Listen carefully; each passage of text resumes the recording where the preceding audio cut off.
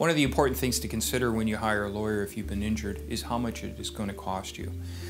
At the outset, it's going to cost you nothing. Any lawyer who does this, who asks for money up front, you should start looking for a new lawyer. Everybody who does this charges at the end and only charges if and when you recover something either through a trial or through a settlement.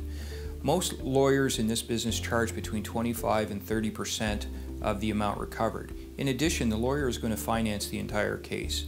If I take on your case, I'm going to pay all the disbursements going along. I'm going to pay for the doctors involved that are needed to prove your case. You will not be out a single penny if you decide to hire a personal injury lawyer to see your case through to the end.